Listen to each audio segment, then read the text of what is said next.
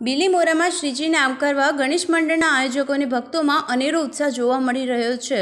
ગણપતિ ઉત્સવની તૈયારીઓ સાથે મનપસંદ શ્રીજીની મૂર્તિઓ બુક કરાવાઈ રહી છે. ગણદેવી પંથકના જુદા જુદા વિસ્તારોમાં પંડાલ બાંધવાના શરૂ થઈ ગયા છે. ગણેશ ઉત્સવને ગણતરીના દિવસો બાકી રહ્યા છે. ગત વર્ષ કરતાં કોરોનાના કેસમાં લોકજાગૃતિ અને સરકારી તંત્રની સજાગતાને લઈને ખાસો એવો ઘટાડો જોવા મળી રહ્યો છે. જેને લઈને સરકાર દ્વારા કોરોના ગાઈડલાઇનના પાલન સાથે ગણેશ ઉત્સવમાં થોડી છૂટછાટ આપવામાં આવી છે.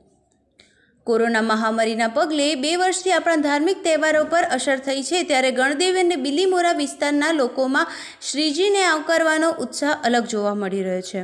બિલીમોરા વિસ્તારના બંદર રોડ, ચોકી ફળિયા, પીર ફળિયા, વખાર ફળિયા, પટેલ ફળિયા સુભાષચોક ફળિયા, બદલ ફળિયા, દેવડી મહોલ્લો દેવસર ગણરાજા, દેવસર મન્નતકા રાજા સહિત નાના મોટા ગણેશ મંડળોના ભક્તો શિવપુત્ર ગણપતિજીના આગમન માટે જોતરાઈ ગયા છે. કોરોનાના થોડા ઘણે અંશે રાહત થતાં આ વર્ષે સરકારે કોવિડ નાઇન્ટીનના નીતિ નિયમોનું પાલન સાથે થોડી છૂટછાટ આપવા માટે બે વર્ષથી ગણેશ ઉત્સવથી વંચિત રહેલ મંડળના આયોજકો તેમજ ગણેશ ભક્તોમાં અનેરો ઉત્સાહ જોવા મળી રહ્યો છે. મંડપોમાં ચાર ફૂટની મૂર્તિ જ્યારે ઘરોમાં બે ફૂટની મૂર્તિ મૂકવાની મંજૂરી મળતા બિલીમોરા પંથકના ગણેશ મંડળના આયોજકોએ પણ તૈયારી શરૂ કરી છે. પીર ફળિયાના મૂર્તિકારો પણ શ્રીજી પ્રતિમા બનાવવાની તડામાર તૈયારી શરૂ કરી નાખીને બસ હવે આખરી ઓપ આપી રહ્યા છે.